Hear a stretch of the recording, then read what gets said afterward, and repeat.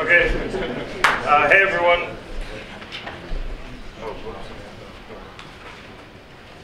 Okay. Uh, my name's Gerard. I'm from Rutgers University, and my app is called Change of Plans.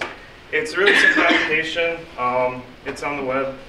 You can. It just asks you for two pieces of information. It asks you how deep you roll in and whether or not you're trying to eat. Um, so, for, for those of you who don't know what the first one means, it- it's just asking how many people are in your Um, So you just answer these two pieces of information. Um, so, I'm with my girlfriend and I'm not trying to eat. Um, I just click this button, change my plans, and I get some information on what to do for the night. Uh, so I get.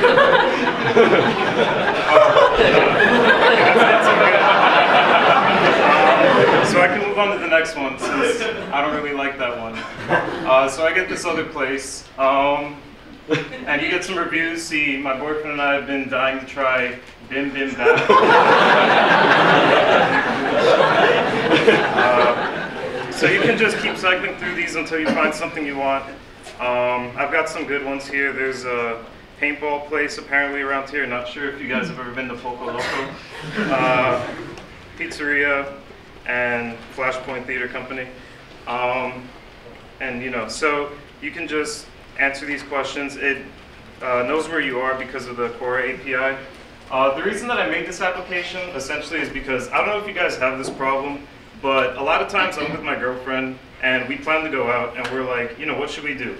And we end up always eating.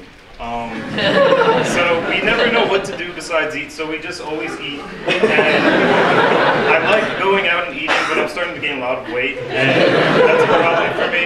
Um, so I made this so that I can decide on what to do except or besides eat. Uh, but if I really want to, I can also, you know, choose to eat. Uh, so the whole point of this, I guess, is to change your plans and break away from your daily routine. Uh, it also gives me directions, or kind of directions. I can click on this and it'll open up in Google Maps. Uh, and it gives me a suggestion on what to wear based on the weather. So right now, I guess it's freezing, bring a coat, uh, because we're in Philly during the winter. Um, that's basically it.